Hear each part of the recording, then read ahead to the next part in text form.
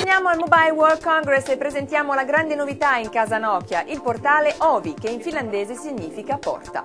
Ovi è la porta d'accesso ai servizi internet di Nokia, che include il Nokia Music Store, Nokia Maps e i giochi sulla piattaforma Engage.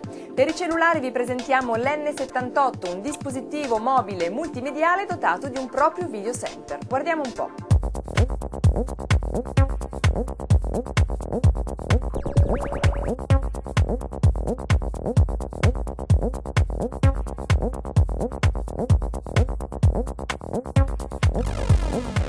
Siamo qui a Barcellona a presentare le ultime novità del mondo Nokia. La cosa più importante di cui siamo orgogliosi è il servizio Share on Ovi. Share è il, servi- il primo servizio brandizzato del mondo Ovi che è un pochettino la porta d'accesso al mondo internet di Nokia. Share è uno spazio virtuale dove gli utenti possono scaricare, condividere, gestire una serie di, eh, di prodotti che vanno dalle fotografie ai video alla musica. È una sorta di spazio virtuale dove l'utente accede attraverso canali che possono essere pubblici o privati.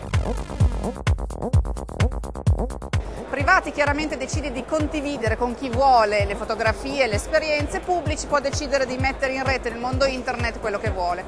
Questo è il primo servizio brandizzato, nel corso del 2008 ce ne saranno altri. Un altro servizio importante che abbiamo lanciato qui a Barcellona è Maps 2.0. Maps è l'evoluzione del nostro servizio Nokia Maps in particolare le caratteristiche principali di questa evoluzione sono che è ottimizzata per la navigazione sia in auto ma anche la navigazione diciamo pedestri.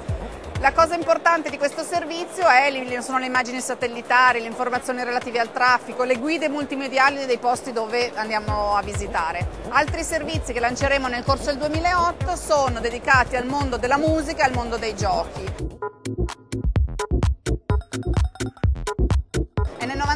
Primo prodotto dedicato interamente al video, ha una serie di caratteristiche tecniche che vanno dalla fotocamera 5 megapixel, il display 2,8, eh, ottiche Zeiss, ma soprattutto ha l'applicativo Video Center che permette di fare diciamo, lo streaming di alcuni contenuti multimediali che possono essere legati al mondo YouTube, Reuters, in Italia abbiamo contenuti mediali specifici forniti da RAI.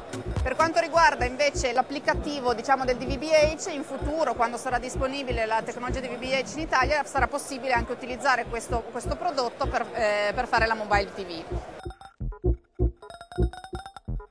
6210 Navigator è un prodotto interamente dedicato, nasce dedicato per la navigazione, c'è un tasto dedicato che permette sul display, diciamo sotto il display, che permette di accedere alla navigazione, ma soprattutto ci sono le mappe precaricate, la navigazione, insomma è un prodotto ottimizzato per questo tipo di esperienza.